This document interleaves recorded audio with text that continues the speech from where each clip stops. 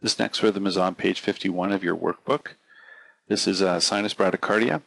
And for all intents and purposes, a sinus brady is exactly the same as a sinus rhythm with one exception, and that is that the heart rate is less than 60. So this is really the, the, the, the key finding here. And if we look at this particular rhythm, we find one QRS that falls in a dark line. So the heart rate here is 300, 150, 100, 75, 60, 50. So the heart rate, in fact, here is 50 beats per minute.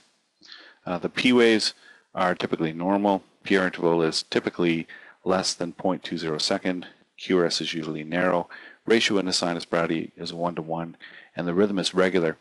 Now, how patients present clinically in a sinus bradycardia will really depend on a couple of a number of different factors. One, just how slow is the heart rate?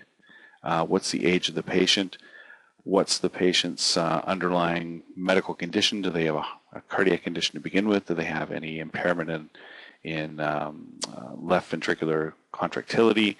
Uh, do they have any comorbidities, other diseases such as COPD or asthma or other things that would predispose them to uh, uh, make them vulnerable to uh, um, being unwell when they have a bradycardic rhythm. So it, it, depends on any one of a number of those factors.